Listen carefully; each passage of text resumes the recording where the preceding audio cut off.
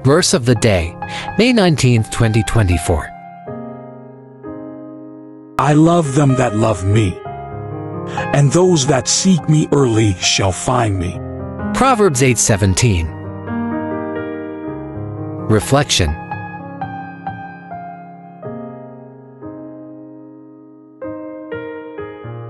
Proverbs 8:17 I love them that love me, and those that seek me early shall find me.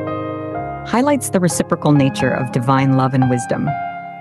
It suggests that an earnest pursuit of wisdom and a heartfelt love for God are met with a corresponding divine affection and guidance.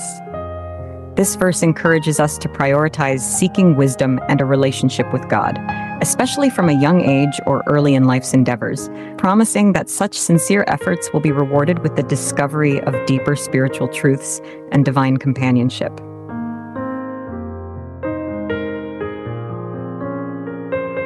Follow and subscribe for more daily Bible verses. Be blessed and be a blessings. God bless you.